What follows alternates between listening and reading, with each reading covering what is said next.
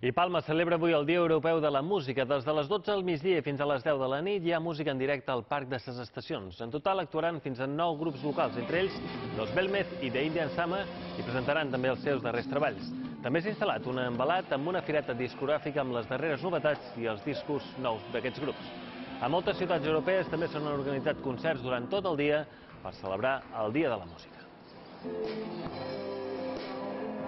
La música és un dels pilars bàsics en cada societat i diu molt de cada ciutat i aquí a Mallorca hi ha, i en concret a Palma, hi ha molt de potencial, o sigui que m'ha pareix molt bé. Que no lo pusieron en época de exámenes, que si no, no puedo venir, que esto me están haciendo la púa. Me gustaría poder pasarme aquí todo el día. Que es necesario e importante, ¿no? Porque aquí hay una gran cantera musical y bueno, creo que esto se tiene que hacer.